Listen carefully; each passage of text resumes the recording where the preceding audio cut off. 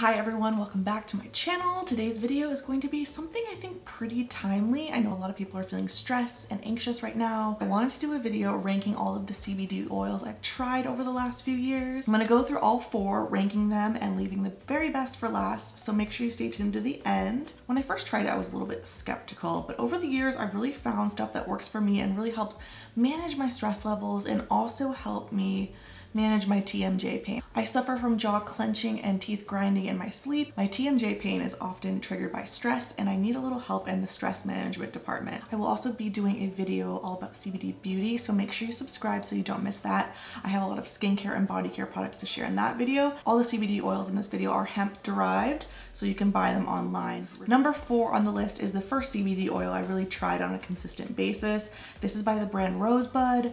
Very cool female founded brand. This is their old packaging. So since they've launched a couple years back, the packaging has been updated. The logo's changed a little bit. This is their 350 milligram bottle. I found that in the beginning I would just add a couple drops to my coffee and gradually work my way up to half a dropper. It was a great introductory CBD obviously a female founded brand, which I love supporting. So while I have the 350 here, they do offer higher doses on their website. So check them out. That is Rosebud. Next up, we have Reed's Remedy Calm. And this is a really unique one because it's a spray. And the nice thing about a spray is that the dose is consistent. And this is the Calm blend. So this is a distilled hemp oil with terpenes infused. This bottle contains 500 milligrams of CBD. The spray design is genius because it's a controlled dose every single time, unlike a dropper where you really have to look closely to make sure you have an accurate dosing, especially if you're starting out and you're very sensitive. For a one spray serving size, you get 75 servings in one bottle. Really nice format and it has a little bit of a grassy flavor, so it's very uplifting and awakening. Huge fan of this one. I really think the packaging is quite innovative. I've never seen another spray CBD oil, so definitely wanna try more from this brand.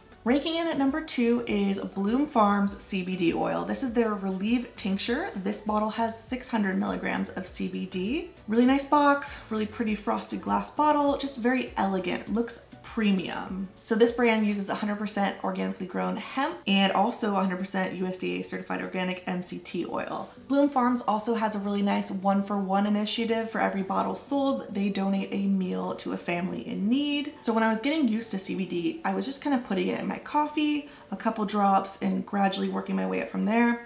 By the time I tested this out, I was just using it in tincture form, just taking a half dropper or so and putting it under my tongue and letting that kind of absorb in for 30 seconds to a minute. So I would use this in the morning kind of to curb the jaw tension and headaches I'd sometimes have in the morning from my TMJ.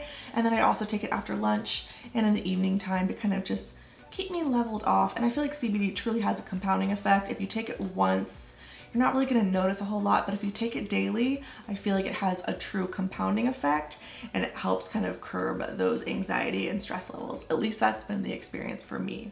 So really enjoyed this one from Bloom Farms. Love that it's out of Oakland. Love that it uses organic ingredients and had a pretty good taste, but number one definitely wins for taste. And coming in at number one, the best CBD oil that I wanted to recommend is by Pachamama. And this is the natural, a 750 milligram CBD. It was founded by two brothers and they have a really inspiring story about overcoming addiction.